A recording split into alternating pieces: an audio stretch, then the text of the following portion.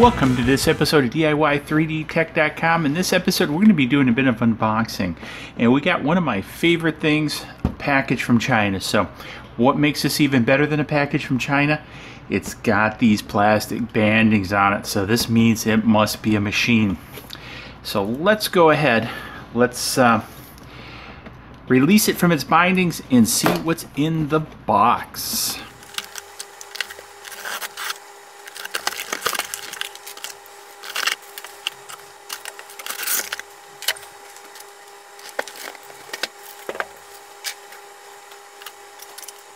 Well, here we are, guys, and I got to tell you, I am not disappointed.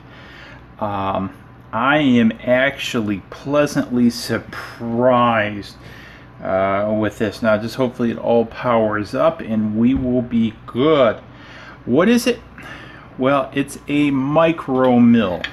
So I've been wanting one of these for a while, and because uh, I want to do a CNC conversion, and I looked at several of these and these seem to be rather prevalent in the market. You can get them on eBay, Amazon, and, and the prices kind of vary from around 190 to about 225.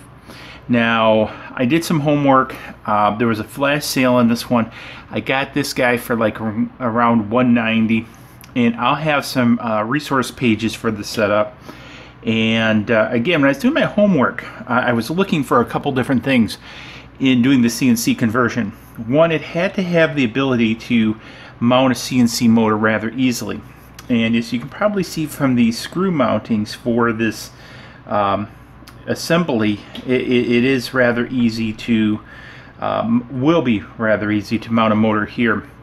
So uh, my plan is to spin some pieces out on the lathe, mount them in here, longer screws, remove this, mount motor. Pretty simple and straightforward. Um, the other thing I like is it comes with a vise. Uh, this is a pretty cool hokey little vise that slides. Um, it's got some, looks like reasonable z-axis movement and design in here. It's based upon this larger maker scale rail here and you can kind of see so you, we, we can kind of move it around and adjust it um, Notice it's kind of interesting. It only has one bracket on the back and not two, but that's okay.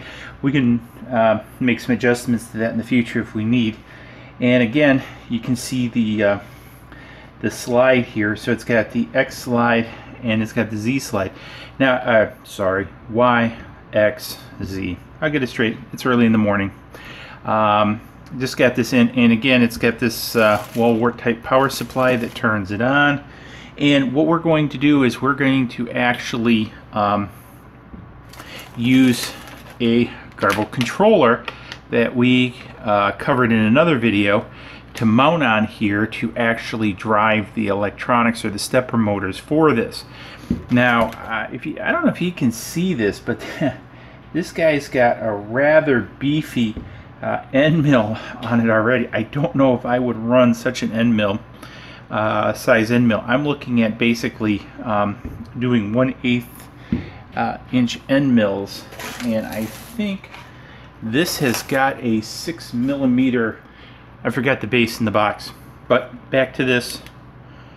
Um, so double check. Yeah that's a this is a 6 millimeter end mill. This is the same size end mill that my 800 watt water cooled uh, 3040 CNC has. Um, you know, so I'll definitely probably get some collets or something to step this down to 1 8 rather than uh, 6 millimeters because is pretty hefty. But one of the things I did like about this, you know, check this out. Check out the size of the motor. Let's go ahead and remove this top assembly. So it's rather interesting. It's sort of like a sort of a T-nut that holds it in here. But notice how beefy this motor is. It is a geared driven. They are metal gears, big plus, um, but this is a beefy motor uh, compared to many that I saw in, the, in this sort of price range that I was going to experiment with.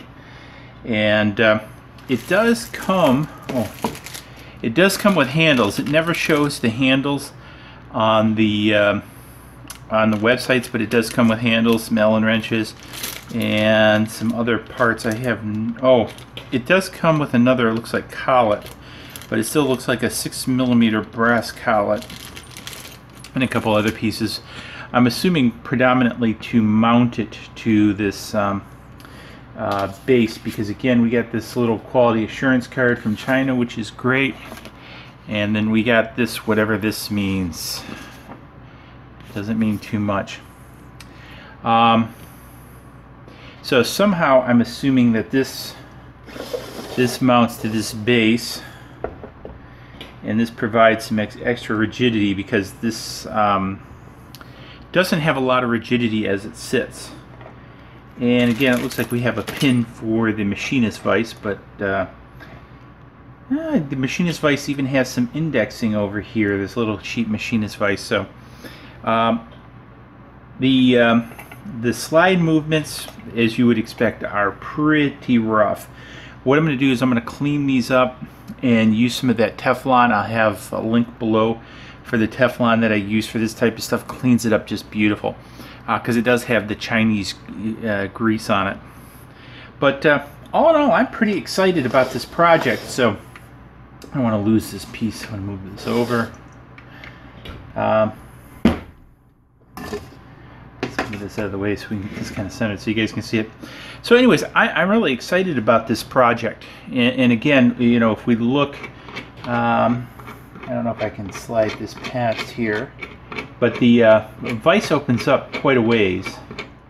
So we could probably get about two inches in this vise. You probably get about two inches in the vise, um, you know, jaw width, and then obviously this way, and we can move this forward.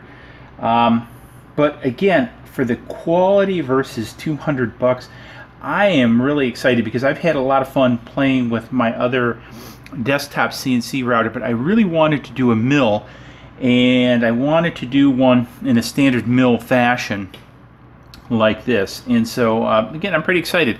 So we'll have to stay tuned. I'm gonna do some uh, more videos on this. I'm not sure what I'm gonna call this uh, probably micro mill so you can check in the playlist for um, the, the, the, playlist for this because one of the things that I do for all my video series is set up playlists. So anybody that wants to go uh, reference it can just simply go to the playlist and boom you have it. So anyways I'm super stoked about this. If you're stoked about it like I am give it a big thumbs up. I'm excited. Do you have one of these? What have you done? Have you done some mods? If you've already done some mods I'd like to hear about it in the comments below. Please hit me up uh, because I will be doing a series on converting this to a CNC and it's a whole purpose of this and I guess we'll see as we start the conversion. Swag Shop on the corner. Don't forget to subscribe and the bell and we'll see you guys as we start the conversion process. Cheers.